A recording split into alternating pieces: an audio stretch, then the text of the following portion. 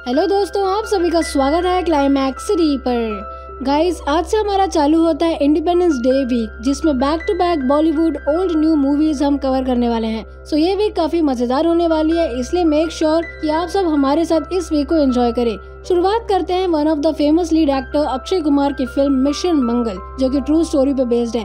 अगर आपने स्टोरी देखी है तो आप जानते होंगे कि मूवी में इसरो के साइंटिस्ट के एफर्ट्स को दर्शाया गया है कि कैसे उन्होंने इस मार्स मिशन को अंजाम दिया और अपना देश बना the first country to do in the first attempt जो कि काफ़ी प्राउड वाली बात है। सो बिना टाइम वेस्ट किए मूवी देखते हैं। मूवी की शुरुआत होती है 2010 बेंगलुरु इंडिया से, जहाँ हमारी मुलाकात होती है तारा शिंदे और उसके फैमिली से। तारा घर के कामों में बिज़ी थी क्योंकि आज उनकी मेड कांता भाई नहीं आई थी। तारा का हस्बैंड सुनील स्टॉक मार्केट में काम करते थे और उनके दो बच्चे अनन्या शिंदे जो आज के टीनेजर्स की तरह फ़ोन में बिज़ी रहती है और दिलीप शिंदे जो म्यूज़िक कंपोजर बनना चाहता था एंड ए आर रहमान का बहुत बड़ा फ़ैन था। इसके अलावा हमें तारा के father in law Dhanraj Shinde से भी मिलाया जाता है जो चल नहीं सकते थे। एनीवे anyway, तारा रेडी वगैरह होकर अपने काम के लिए निकलती है जहाँ हमें पता चलता है कि तारा इसरो में जीएसएलवी फैट बॉय जिसका नाम मोटा बच्चा रखा गया था उसमें प्रोजेक्ट डायरेक्टर की रिस्पॉन्सिबिलिटी निभा रही थी। तारा कंट्रोल रूम के सभी साइंटिस्ट के पास जाकर फाइनल चेक कराती है। इसी बीच हम मिलते हैं चंद्रेश सिंह से, जो की इसरो के डायरेक्टर थे। एंड उनके साथ एक गवर्नमेंट ऑफिसर आते हैं इस रॉकेट का लॉन्च देखने के लिए। गवर्नमेंट ऑफिसर उनसे पूछते हैं की रॉकेट का नाम फैट बॉय क्यूँ रखा है? इस पर डायरेक्टर जवाब देते हैं की ये रॉकेट एक साथ दो हाथियों का वज़न उठा सकता है। प्लस हमें पता चलता है कि ये रॉकेट आंध्र प्रदेश के श्री हरिकोटा से लॉन्च हो रहा है, जो कैमरा के थ्रू विजिबल था। अब क्योंकि साइंटिस्ट बेंगलुरु से ऑपरेट कर रहे थे, इसलिए श्री हरिकोटा के कंट्रोल रूम से कनेक्टेड थे। गवर्नमेंट ऑफिसर और डायरेक्टर आपस में बात कर रहे थे कि तभी उन्हें गुनगुनाने की आवाज़ आती है। पूछने पर डायरेक्टर कहते हैं कि जीनियस साइंटिस्ट थोड़े पागल ही होते हैं। एंड इस तरह हमारी मुलाकात होती है राकेश धवन से, जो कि लीड डायरेक्टर थे प्रोजेक्ट के। अगले सीन में हम देखते हैं कि तारा ने एक पंडित जी को बुलाया था ताकि लॉन्च के पहले थोड़ा पूजा हो सके। मीन श्री हरिकोटा लॉन्च का परमिशन मांगती है, जिससे राकेश सभी इंपॉर्टेंट साइंटिस्ट जैसे payloads navigation and communication program autonomy flight dynamic से गो और नो गो पूछते हैं। सभी साइंटिस्ट रेडी रहते हैं की अचानक प्रोपल्शन कंट्रोल की साइंटिस्ट तारा से कहती है कि टर्बो पंप का टेम्परेचर काफ़ी हाई है। अगर लॉन्च किया तो मेल फ़ंक्शन हो सकता है। इस पे तारा कहती है कि शायद श्री हरिकोटा के गर्म मौसम की वजह से हो सकता है और फ्यूल कनेक्टर का स्टेटस भी सही है। इसलिए राकेश के पूछने पर तारा गो का साइन देती है। जो डरता वही होता है रॉकेट के उड़ते ही टर्बो पंप में हाई टेम्परेचर की वजह से आग जल जाती है, जिससे रॉकेट का ट्रेजेडरी बात अलग हो जाता है और वो क्रैश होने वाला रहता है। ये देखकर राकेश तुरंत श्री हरिकोटा को इन्फॉर्म करते हैं कि वो रॉकेट को सेल्फ डिस्ट्रक्ट कर रहे हैं और बटन दबाते ही रॉकेट सेल्फ डिस्ट्रक्ट हो जाता है। गवर्नमेंट ऑफिसर ये देखकर वहाँ से गुस्से में चले जाते हैं। दूसरी तरफ़ राकेश दुखी होकर गुनगुनाते हुए सामने रखे लड्डू खाने लगते हैं कि तभी वहाँ तारा आती है और अपने मिस जज के बारे में कहती है। इस पे राकेश फेलियर मुबारक हो ये कहते हैं। इतने में एक को साइंटिस्ट प्रेस मीटिंग के बारे में राकेश को बोलता है। राकेश प्रेस मीटिंग में रॉकेट का फेलियर के बारे में सबको इन्फॉर्म करते हैं और सारा ब्लेम अपने ऊपर लेते हैं, क्योंकि अलार्म बजने के बाद भी कॉल लिया गया था। ये देखकर तारा और भी ज़्यादा गिल्ट फील करने लगती है। अगले दिन सभी न्यूज़ चैनल में ये बात फैल गई एंड सभी लोग पैसा वेस्ट होने और लॉन्च फेलियर से नाराज़ थे। इसलिए गवर्नमेंट राकेश के ऊपर इंक्वायरी बैठा दी है। इंडियन स्पेस कमीशन के हेड राकेश से क्वेश्चन पूछते हैं कि अलार्म के बावजूद भी उन्होंने कॉल क्यों लिया? एंड अगर ये रॉकेट सक्सेसफुल होता तो शायद मैन लैंडिंग मार्स जुपिटर जैसे प्रोजेक्ट हैंडल कर सकते थे। इस पे राकेश कोई जवाब नहीं देता और कुछ ड्रॉ करते रहते हैं। तभी कमीशन हेड नासा के साइंटिस्ट रूपर देसाई से मिलाते हैं और उन्हें इन्फॉर्म करते हैं कि अब से इसरो के फ्लैगशिप नासा देखेगी। इस पे चंद्रेश और राकेश दोनों हैरान होते। इतने में रूपर देसाई कहते हैं कि क्यों सब मेक इन इंडिया प्रोजेक्ट करना? हमें भी बाकी देशों की तरह नासा से बोरो करके बिल्ड करना चाहिए। ये सुनकर राकेश बीच में टोकते हैं और कहते हैं कि, सर, हम साइंटिस्ट है there is no science without experiments let's make in India sir we can and we will but commission कुछ नहीं सुनती। अब क्योंकि गवर्नमेंट जॉब है, इसलिए निकाल नहीं सकते। दैट्स वाई राकेश को फैट बॉय प्रोजेक्ट से हटाकर मार्स मिशन में ट्रांसफ़र करते हैं, ताकि वो खुद ही रिजाइन कर दे। राकेश ये बात समझ गया था, क्योंकि मार्स मिशन पॉसिबल ही नहीं था। एंड ये बात पूरा इसरो जानता था। जाने से पहले राकेश न्यूज़पेपर के ड्राइंग को पेपर में बना के कहते हैं इसरो को बीच में लाने से पहले आप ये सोचिए कि ये जो भारत दरवाज़ा के बाहर खड़ा है, उसे अंदर कैसे लाया जाए? ये कहकर वो वहाँ से चले जाते हैं। चंद्रेश ये देखकर राकेश से बात करने जाते हैं और उसे सॉरी बोलते हैं। इस पे राकेश कहता है कि, मैं अपनी लाइफ, साइंस और स्पेस के पीछे लगा दिया। अपने बारे में सोचा ही नहीं। कोई नहीं, मार्स है, बहुत टाइम है।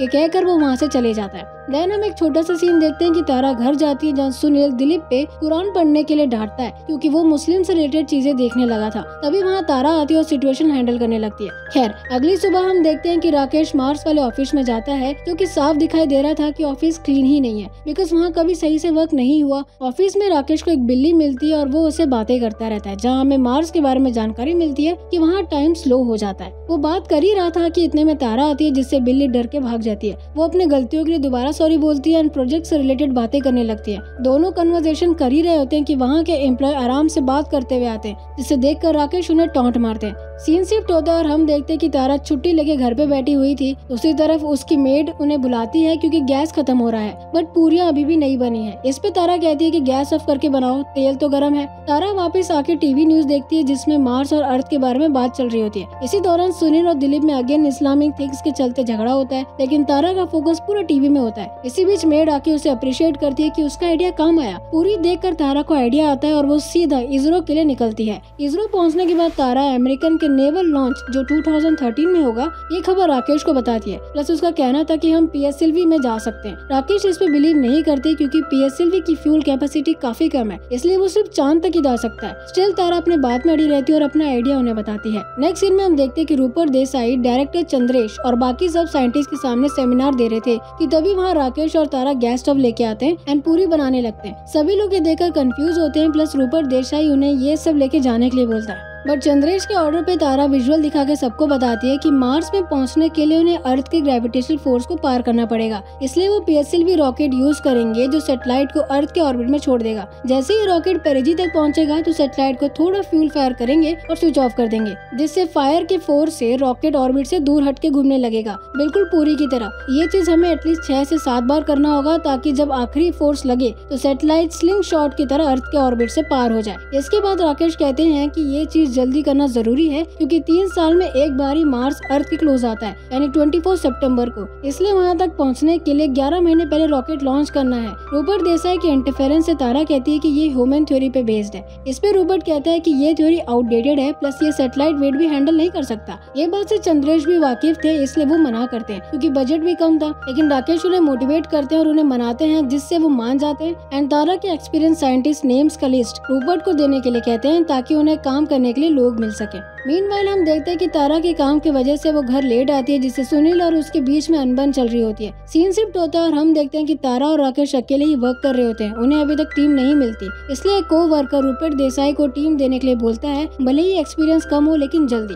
इस पर रूपेट जूनियर साइंटिस्ट की टीम देती है, जिसमें सबसे पहले Varsha Pillai light weight satellite designer and payload expert है। वर्षा अपने घर के छोटे स्पेस में बड़ी बड़ी चीज़ें आसानी से वॉल में फिक्स कर देती थी बट फिर भी उसे अपने मदर इन लॉ से टॉन्ट सुनना पड़ता था, क्योंकि वो एक बच्चे को कंजीव नहीं कर रही थी। दूसरी है कृतिका अग्रवाल, जो नेविगेशन एक्सपर्ट है अपने हस्बैंड ऋषि के लिए डिवोटेड वाइफ इसके अलावा हम ये भी देखते हैं कि कृतिका को ड्राइविंग लाइसेंस चाहिए, जिसके लिए वो ड्राइविंग सीख रही थी और कृतिका से ज़्यादा ड्राइविंग टीचर परेशान था। थर्ड होती है नेहा सिद्दीकी, जो स्पेस क्राफ्ट ऑटोनॉमी डिज़ाइनर है, फिर भी स्ट्रगल कर रही है एक अच्छे रेंट के घर के लिए, जो उसे नहीं मिल रहा because of Islamic religion and divorce women fourth Eka Gandhi जो प्रोपोर्शनल कंट्रोल एक्सपर्ट है एंड एक चांस ढूंढ रही है नासा में घुसने के लिए। नेक्स्ट परमेश्वर जोशी जो कैमरा एंड पेलोड एक्सपर्ट है एंड काफ़ी ज़्यादा पंडितों पर रिले करते थे, क्योंकि उनके शादी के लिए कोई लड़की नहीं मिल रही। प्लस पंडित जी उसे ये भी कहते हैं कि उसे मंगल ग्रह से दूर रहना है। Any anyway last scientist Anant Iyengar, जो स्ट्रक्चरल इंजीनियर है एंड टीम के काफ़ी एजेड पर्सन है, जो अपनी वाइफ के साथ तिरुपति की यात्रा में जाना चाहते थे।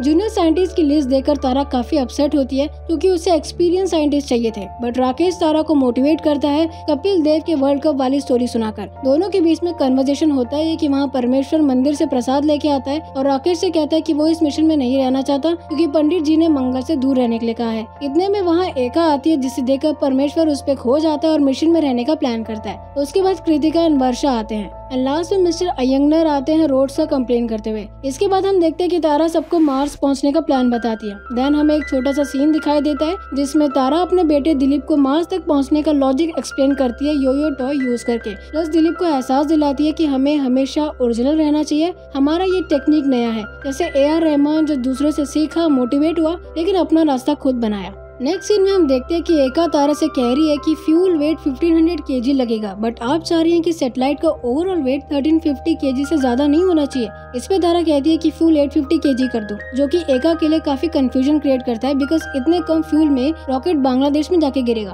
दूसरी तरफ़ मिस्टर अयंगर धीरे धीरे चल के अनइंटरेस्टेड ऑफ़िस ऐसी आ रहे होते हैं की राकेश उन्हें प्रेस करते हैं की वो इस उम्र में भी कितने कम एज के दिखते हैं। ये सुनकर मिस्टर अयंगर खुश होते हैं और स्पीड ऐसी चलने लगते हैं। यहाँ नेहा भी राकेश ऐसी कहती है की अगर सेटेलाइट में कोई भी प्रॉब्लम होती है तो सेटेलाइट में हमारा कमांड पहुँचने के लिए 24 मिनट्स लगेंगे और तब तक सेटेलाइट डिस्ट्रॉय हो जाएगा। इसलिए सेटेलाइट को खुद रिपेयर करना पड़ेगा एंड हमने ऐसा कॉम्प्लेक्स प्रोग्रामिंग पहले कभी नहीं किया। इस पे राकेश कहते हैं की इज़ इन दैट एक्साइटिंग पहली बार we are gonna do it come on try again दूसरी तरफ़ कृतिका तारा से कहती है कि सिर्फ़ यूएस और रशिया के पास हैवी कम्युनिकेशन एंटीनाज हैं। टाइम कम है तो ऑर्डर कर दूँ। इस पे तारा कहती है कि बजट नहीं है हमारे पास, इसलिए ये फॉलो करो। परमेश्वर और वर्षा के साइड से भी इश्यूज़ हो रहे थे। परमेश्वर के पास सेटेलाइट में कैमरा लगाने की जगह नहीं थी और वर्षा के पास सेटेलाइट को कम वेट करने का आइडिया नहीं आ रहा था। इन सब प्रॉब्लम्स को फेस करते हुए राकेश सब कुछ चीज़ें एक्सप्लेन कर रहे थे कि तभी वहाँ इसरो के डायरेक्टर चंद्रेश आते हैं और मिशन कैंसिल करने के लिए बोलते हैं क्योंकि गवर्नमेंट ऑनगोइंग प्रोजेक्ट से 800 करोड़ नहीं दे सकते। एंड अगर करना ही है तो इसरो के सालाना बजट में करना होगा। जो पॉसिबल नहीं है। ड्यू टू दिस रीजन उनका ये प्रोजेक्ट कैंसिल होता है। सभी जूनियर साइंटिस्ट एक एक करके अपने फाइल्स देते हुए चले जाते हैं एंड तारा और राकेश भी हेल्पलेस फील करने लगते हैं। प्रोजेक्ट बंद होने की वजह से तारा रिजाइन करने के बारे में सोचती है और सुनील को फैमिली के साथ वेकेशन बनाने के लिए ऊटी में जाने की बात करती है। ये सुनकर दिलीप तारा को ऐसा ना करने के लिए कहता है, लेकिन तारा डिसाइड कर चुकी थी। सीन शिफ्ट होता हम देखते हैं कि राकेश अगेन रूबर्ट के सेमिनार के बीच में जाता है और एक न्यूज़ सबको दिखाता है, जिसमें ये रिपोर्ट था कि चाइना का मार्स मिशन फेल हो गया वैन हैनल बेल्ट भी उन्होंने क्रॉस नहीं कर पाया। प्लस वो रशिया का रॉकेट यूज़ किए थे। इसका मतलब चंद्रयान टू जो फोर्ब्स रॉकेट के थ्रू होने वाला है, उसे होल्ड पे रखते हैं, जिससे वो बजट इस प्रोजेक्ट में यूज़ कर सकते हैं। रूबर्ट के इंटरफेयर के चलते राकेश डायरेक्टर चंद्रेश और अब्दुल कलाम का पुराना फ़ोटो दिखा के सबको मोटिवेट करते हैं कि इंडिया का पहला रॉकेट टुकड़ों में ले जाया गया देन पुराने चर्च के पीछे जाकर असेंबल किया गया। कैसे करेंगे ये नहीं पता, लेकिन करेंगे। इतने में रोबोट कहता है की मिशन का सक्सेस रेट सिर्फ़ वन परसेंट है। इस पे राकेश एक जोकिंग एक्ट करके अब्दुल कलाम का वर्ड्स याद दिलाते कि अगर ज़ीरो भी अगर चांस है तो स्टिल हमें आगे बढ़ना चाहिए। ये सुनकर चंद्रेश और बाकी सब मोटिवेट होते हैं एंड एक्सपीरियंस साइंटिस्ट अपॉइंट करने के लिए बोलते हैं। लेकिन रोबोट इसके लिए अगेंस्ट रहता है। इसलिए राकेश उन्हें जूनियर साइंटिस्ट को वापस देने के लिए कहता है। राकेश प्रोजेक्ट रिएक्टिवेट की बात सबसे पहले तारा को बताता है, जिससे तारा ऊटी का प्लान कैंसिल करती है एंड अगेन सुनील दुखी हो जाता है। अगला कॉल वर्षा के पास जाता है, जो अपने हस्बैंड विवेक के साथ आईवीएफ करा के आई थी, क्योंकि मार्स मिशन बंद हो गया था, इन शॉर्ट वो माँ बनने वाली है। नेक्स्ट सीन में हम देखते हैं कि कृतिका जो ड्राइविंग सीख रही थी, उसे आर्मी की तरफ़ से कॉल आता है, जहाँ उसे पता चलता है की उसका हस्बैंड ऋषि को जंग के दौरान चोट लगी है, लेकिन अभी पहले से बेटर है। Due to this reason Rakesh Kritika से कनेक्ट नहीं कर पा रहा था, इसलिए उसे मैसेज में बता देता है। अगला कॉल नेहा को जाता है, जो अभी घर ना मिलने की वजह से परेशान थी बट इस बार हमें पता चलता है कि उसका हस्बैंड का किसी और के साथ अफेयर था, इसलिए उसका डिवोर्स हुआ। यहाँ एका अपने सिस्टम में बैठ के नासा के लिए रेज्यूम एप्लीकेशन देती है, जिसे परमेश्वर जो पीछे बैठ के देख रहा था, इस बारे में पूछता है। इस पे एका इरिटेट होती है कि तभी उन दोनों को प्रोजेक्ट रिएक्टिवेट होने का कॉल आता है। एंड देन आखिरी कॉल मिस्टर अयंगर को जाता है, जो अपनी वाइफ के साथ तिरुपति जा रहे थे। कॉल की वजह से उनकी वाइफ को अकेले जाना पड़ता है। सबके आते ही राकेश सबको डिजिटल वॉच दिखा के बताते हैं कि चार महीने वेस्ट हो चुके हैं, इसलिए हर एक मिनट कीमती है। बजट भी आधा हो गया, इसलिए काम भी बहुत ज़्यादा हो गया। मिस्टर अयंगर की डिनाइल सुन के तारा उनसे कहती है की आप स्ट्रक्चरल डिज़ाइनर है। सैटेलाइट को हल्का बनाना और बजट में फिक्स करना आपका काम है। सो प्लीज़ करिए। मार्स की खबर अब न्यूज़ में फैल गई थी, जिसमें एक न्यूज़ रिपोर्टर मार्स मिशन का मज़ाक उड़ाता है। सभी लोग अपने वर्क में बिज़ी होने लगते हैं कि तभी कृतिका का कॉल आता है और विदाउट इन्फॉर्मेशन वो भागते हुए हॉस्पिटल में अपने हस्बैंड ऋषि से मिलने जाती है, जो कि काफ़ी बुरी हालत में थे। एंड ऋषि को देखकर कृतिका रोने लगती है। देन हम देखते हैं कि सब जूनियर साइंटिस्ट आपस में मार्स मिशन को लेकर मज़ाक उड़ाते हुए बातें करते हैं, क्योंकि उन्हें ये मिशन इम्पॉसिबल फील हो रहा था। मिस्टर अयंगर कहते हैं कि दो दिन में इनका मोटिवेशन कम हो जाएगा प्रोजेक्ट बंद हो जाएगा और मैं तिरुपति जाऊँगा। इस पे वर्षा कहती है कि मैं तो बात करूँगी। अगले सीन में हम देखते हैं कि वर्षा अपनी प्रेगनेंसी वाली बात तारा से कहती है, जिससे तारा थोड़ा नाराज़ होती है क्योंकि अब उसे वर्षा को हटाना पड़ेगा। तभी वहाँ राकेश आता है और मिशन का क्या नाम रखे ये पूछता है। बट वर्षा का रिप्लेसमेंट के बारे में जानने के बाद, राकेश मोटिवेशन से कहता है कि एक साइंटिस्ट प्रेग्नेंट है और उसे देश के सबसे इम्पोर्टेंट मिशन को लीड करने का मौका मिल रहा है तो हम क्यों रोके? ऐसे बच्चे के इंतज़ाम के लिए हम यहाँ पूरा ध्यान रखेंगे डोंट वरी प्लस प्रोजेक्ट का नाम मॉम यानी मार्स ऑर्बिटर रखते हैं। इतने में मिस्टर अयंगर थके, हारे, हफ़्ते हुए हाफ़ डे लीव लेने की बात करते हैं। राकेश अब उनको संभालने लगते हैं। दूसरी तरफ़ एका रूपर देसाई से मिलती है ताकि वो नासा के साथ काम करे, ना कि मार्स प्रोजेक्ट में। ऑफ़िस से निकलने के बाद उसे परमेश्वर दिखाई देता है, जिससे एका उसे पीछे पड़े रहने की बात करके उसे टोंट मारती है। मीन तारा देखती है कि कृतिका का कोई आता पता नहीं है और सारी टीम काम को लेकर डेडिकेट नहीं रहती, प्लस जल्दी घर जाती है ओवर टाइम करने की बजाय। देखकर तारा राकेश से कहती है कि इस टीम के साथ टाइम पे रॉकेट बनाना पॉसिबल ही नहीं है। इस पे राकेश जो प्रोजेक्ट के डिस्कशन के लिए तो त्रिवेंद्रम और अहमदाबाद जा रहे थे, कहते हैं कि ये बहुत अच्छे साइंटिस्ट है, लेकिन तुम्हारे लिए मार्स एक ड्रीम है बट इनके लिए नाइन टू फाइव जॉब इनका ये एटीट्यूड बदलना ज़रूरी है। तारा ये सोचते हुए घर जाती है की उसे सुनील गुस्से में दिखाई देता है, क्यूँकी अनन्या अभी तक घर नहीं आई थी। सुनील तारा के जॉब को लेकर गुस्सा रहता है बट तारा अनन्या की फ्रेंड को कॉल लगाती है, जहाँ उसे पता चलता है की वो अपने फ्रेंड के साथ क्लब गई है। ये सुनकर तारा अपने हस्बैंड के साथ क्लब जाती है और उससे कहती है की बेटी कितना चिंता है तो उसके दोस्तों का नंबर रखो। I love my job so please job को लेकर गिल्टी फील मुझे मत कराया करो। खैर पार्टी में वो अनन्या से मिलते हैं, जहाँ सुनील भी डांस करते हैं। वापस घर आते समय सुनील अपने बचपन के दिनों को याद करते हुए कहता है कि दोस्त वेयर द डेज़ जिससे तारा को टीम मोटिवेशन का आइडिया आता है। अगले दिन तारा पूरे ऑफ़िस को बर्थडे सेलिब्रेशन में जैसे तैयारी करती है और सबको अपने अंदर के चाइल्डहुड पैशन फॉर साइंस याद दिलाती है कि कब उनके अंदर का साइंटिस्ट ने जन्म लिया। साथ ही वो ये भी कहती है कि आज ये मौका है हमारा हिस्ट्री बनाने का, ताकि हम बोल सके I am going to leave my dream सभी जूनियर्स अपने बचपन के इंसिडेंट्स को याद करने लगते हैं, जिसके चलते आज वो साइंटिस्ट बने और वो केक खाते हुए ओवर टाइम करने के लिए मान जाते हैं। यहाँ कृतिका को भी ऋषि याद दिलाता है की मार्स उसके लिए एक मिशन है, जिसे पूरा करने की रेस्पॉन्सिबिलिटी उसकी है। Same as army mission Rishi की बात सुन के कृतिका ऑफ़िस जाती है तो देखती है की सभी लोग ऑफ़िस को रिनोवेट कर रहे हैं फुल ऑन एनर्जी और मस्ती के साथ। कृतिका भी उनके साथ ज्वाइन करती है। धीरे धीरे ऑफ़िस में पूरे कंप्यूटर सिस्टम लग जाते हैं, जिससे राकेश भी ये देखकर खुश हो जाता है। पूरी टीम सेटेलाइट का वेट हल्का करने की कोशिश में थी। इवन वर्षा भी जो हॉस्पिटल में चेकअप के लिए गई थी, इस पे काम कर रही थी। इसी बीच मिस्टर अयंगर जो ट्रैफ़िक में फंसे हुए थे, उन्हें ओशन में पड़े प्लास्टिक वेस्ट के बारे में पता चलता है। वो तुरंत राकेश को इन्फॉर्म करते हैं कि सेटेलाइट को लाइट वेट बनाने के लिए प्लास्टिक बेस्ट है, क्योंकि ओशन के अंदर पड़े रहकर ये एक्सट्रीम कोल्ड और हीट सहन करने के लायक बन चुके हैं। अभी वर्षा आइडिया देती है की इसमें अगर एल्यूमिनियम भी अगर मिला दिया जाए तो ये और लाइट बनेगा।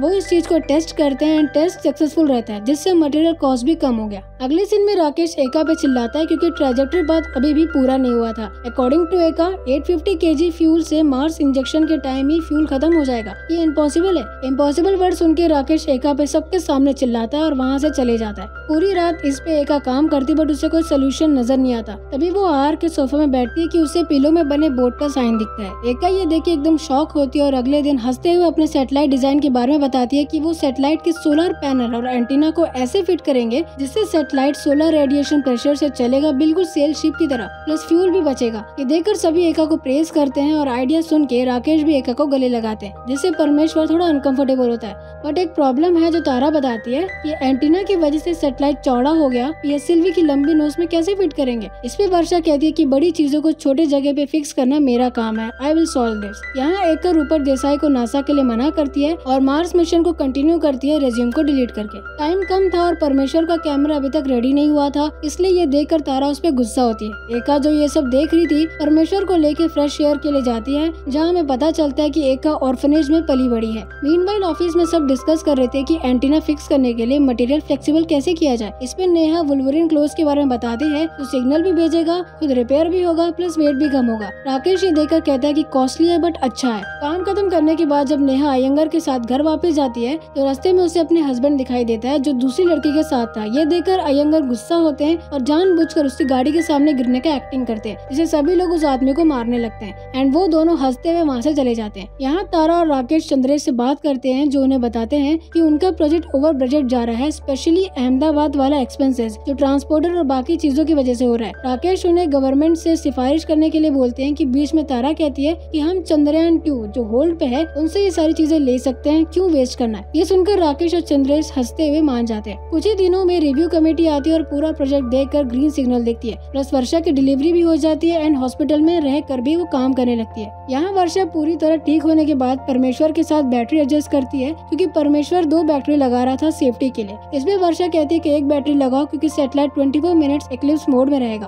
अब सेटेलाइट प्रोडक्शन के रेडी है। इस तरह हँसते खेलते सभी सेटेलाइट को प्रोड्यूस करते हैं फाइनली सेटेलाइट रेडी हो जाता है, जिससे मिशन का नाम चेंज होकर मंगल यान रखा जाता है। रॉकेट रेडी होकर लॉन्च वाले प्लेस में शिफ्ट होता है। यहाँ कृतिका रात में अपने घर वर्क कर रही थी, लेकिन कंप्यूटर हैंग हो जाता है। ऋषि ये देखकर जो हॉस्पिटल से घर आ चुका था कंप्यूटर स्विच ऑन ऑफ़ करता है, जिससे सिस्टम वापस ऑन हो जाता है। कृतिका कहती है कि आईएनए की शिप जिसमें मोबाइल सेंटर्स हैं, जो रॉकेट को ट्रैक करेगा अलग अलग देशों से वो अभी तक पहुँचा नहीं है। इस पर ऋषि कहता है कि आईएनए है, पहुँच जाएगा। बहुत जल्द साइंटिस्ट के ऊपर दूसरी प्रॉब्लम आ जाती है, वो ये कि हर जगह खराब मौसम था। इवन बे ऑफ़ बंगाल में भी जहाँ से रॉकेट लॉन्च होने वाला है, वहाँ भी मौसम बहुत ही ज़्यादा खराब था। ये देखकर रूपर्ट देसाई मिशन अबॉर्ट करने के लिए कहते हैं और ये सुनकर राकेश और रूपर्ट के बीच में झगड़ा हो जाता है। झगड़ा देखकर तारा कहती है कि हमारे पास नाइन डेज़ का बफर है फाइव नवंबर तक लॉन्च कर सकते हैं। ये देखकर चंद्रेश कहते हैं कि ठीक है for now mission is stand by आप लोग आराम करो ड्रिंक वगैरह एंजॉय करो। सभी लोग बैठ के बार में ड्रिंक करते हैं, जिसमें राकेश रॉकेट को लेकर दुखी होता है। खैर, दुखी मन से सब मेट्रो में बैठते हैं की वहाँ भी मिशन का न्यूज़ चल रहा था, जिससे राकेश इरिटेट होकर टीवी में अपना कोड रखता है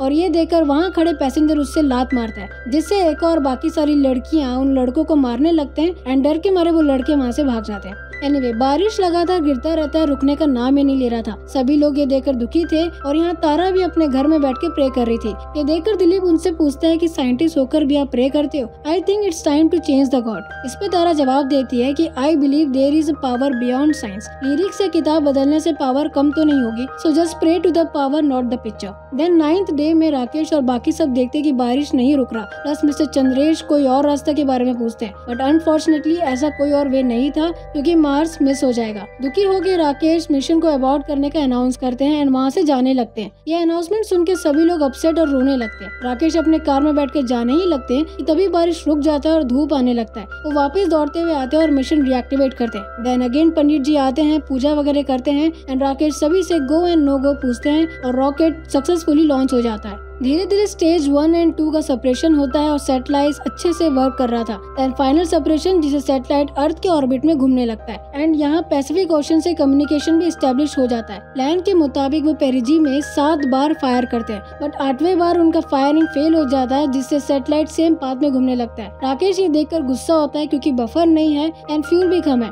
इस पे एका कहती है कि एक फायर करने के लिए फ्यूल है बट टाइम में कैसे पहुँचेंगे ये नहीं पता। खैर, जब नाइन टाइम फायर करते हैं तो सेटेलाइट पाथ से अलग हो जाता है और वैन एलन बेल्ट क्रॉस कर लेता है। ये देखकर सब खुश होते हैं, लेकिन अगेन रूपर्ट नेगेटिव बोलता है, क्योंकि rocket already six days delay चल रहा था। ये सुनकर तारा उन्हें कहती है की दस महीने बचे हैं for final destination please wait to celebrate a failure then हम देखते हैं की सेटेलाइट के सोलर पैनल शिप के सेल की तरह विदाउट फ्यूल सोलर एनर्जी से चल रहा होता है। नाइन मंथ तक सेटेलाइट अच्छी तरह मूव करता रहता है कि सडनली स्पेस में सोलर स्ट्रॉम सेटेलाइट को हिट करता है, यानी सोलर रेडिएशन और एस्ट्रॉइड्स के साथ। जिससे कंट्रोल रूम का कम्युनिकेशन रॉकेट के साथ टूट जाता है। कृतिका जो घर में सो रही थी, उसे फ़ोन आता है ये बात पता चलता है। वो दौड़ते हुए कंट्रोल रूम में आती है, जहाँ परमेश्वर बताता है की पूरा कम्युनिकेशन लॉस्ट हो चुका है। नेहा स्टॉम के बारे में बताती है प्लस एका इन्फॉर्म करती है की बैकअप सिस्टम कभी भी फेल हो सकते हैं और सेटेलाइट भी लास्ट ट्वेंटी फोर मिनट ऐसी हैंग मोड में है। ये सुनकर कृतिका सेटेलाइट के मेन पावर को ऑफ़ करती है और दोबारा ऑन करती है, जिससे सभी लोग शॉक हो जाते हैं और सरप्राइजिंगली ऋषि का आइडिया काम आता है। कम्युनिकेशन रीएस्टेब्लिश होता है और साइंटिस्ट को पता चलता है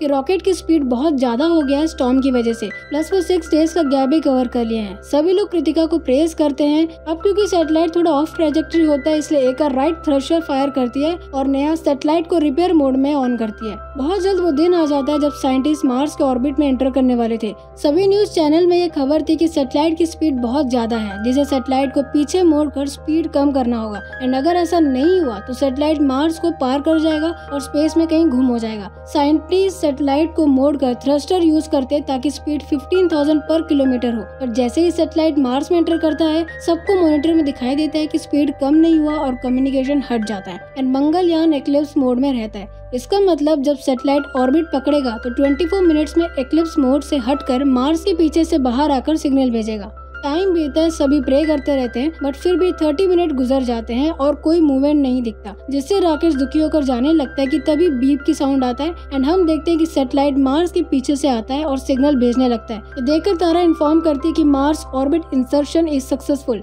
सब एकदम खुश होते हैं, राकेश चिल्ला के बोलता है, पूरी दुनिया से कहो कॉपी दैट परमेश्वर तुरंत सेटेलाइट का कैमरा वगैरह ऑन करता है, जिससे सेटेलाइट के अंदर का कैमरा ब्यूटीफुल वे से बाहर आता है और मार्स का पिक्चर सामने आता है। मार्स की पिक्चर स्क्रीन में आने लगते हैं सब साइंटिस्ट को इस कामयाबी के लिए विशेष मिलते रहते हैं। प्लस रूपर देसाई भी हैप्पी रहते हैं और कहते हैं कि नासा से कोलेबोरेशन के कॉल आ रहे हैं। फ़िल्म के एंड में इसरो के सेवनटीन थाउज़ेंड साइंटिस्ट और इंजीनियर्स के एफर्ट्स को दिखाया जाता है प्लस उनके पिक्चर भी दिखाए जाते हैं। इस तरह हमारी मूवी यही खत्म होती है। सो so गाइस ये था हमारा आज का वीडियो आई होप आपको ये एक्सप्लेनेशन अच्छा लगा होगा। और अगर अच्छा लगा तो मेक श्योर आप इसे लाइक करें शेयर करें, अपने फैमिली फ्रेंड्स को सब्सक्राइब करें और कमेंट करना मत भूलिएगा। मिलते हैं नेक्स्ट वीडियो में, तब तक के लिए जय हिंद, जय भारत